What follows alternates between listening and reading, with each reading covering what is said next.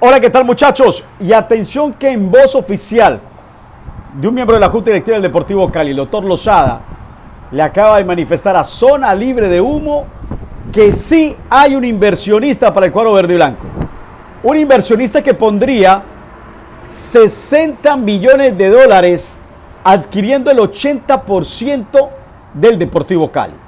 La institución como tal, que no tiene dueño, se quedaría con el 20%. El 80% pasaría a este inversionista, de los cuales 40 millones de dólares serían para pagar la deuda, para pagar todo lo deudado y el 20 y 20 millones de esos dólares que, que restarían serían para inversión en el cuadro deportivo Cali. Esa es la noticia. Que ahora sí, oficialmente, alguien diferente al doctor Mena, presidente del cuadro verde y blanco, ha manifestado que sí vio sobre el papel que sí conoce el inversionista que llegaría a obtener, el, repito, el 80% del Deportivo Cali. 40 maracas para pagar la deuda y 20 maracas para invertir en el cuadro verde y blanco. Pregunta que hice yo el día de ayer en zona libre de humo.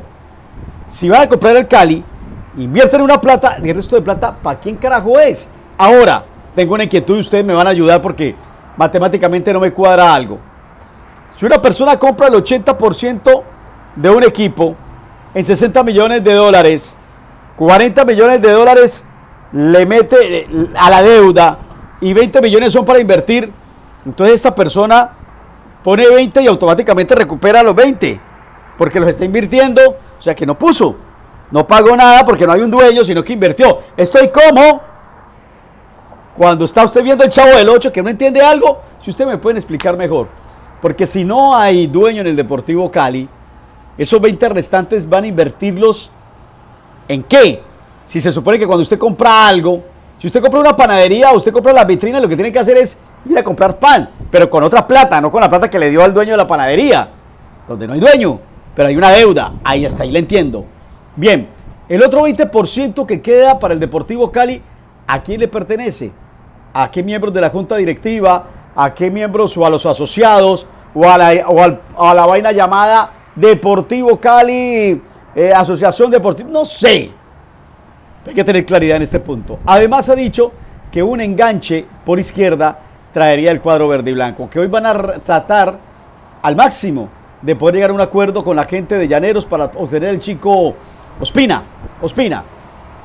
Y que ya, esta mañana vimos la foto, está Teo Gutiérrez en los exámenes médicos, mismo que Castilla, y Chino ya está comenzando a hacer su trabajo, o sea que el cuadro verde y blanco se pone al punto. Para mí la gran noticia es, ah, y dijo algo, que el mexicano, que se sí sentaron con el mexicano, que el mexicano hizo un giro de 10 millones, de 10 maracas, que no existían, no estaban.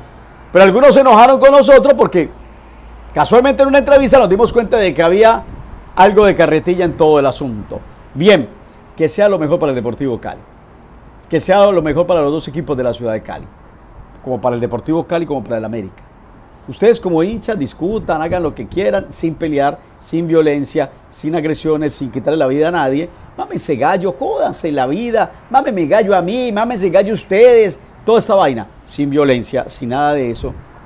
Pero lo que yo quiero es que tanto al Cali como al América les vaya muy bien. Es lo único, es lo único. La plaza de Cali merece dos equipos competitivamente arriba. Ahí está la noticia, señores. Un abrazo.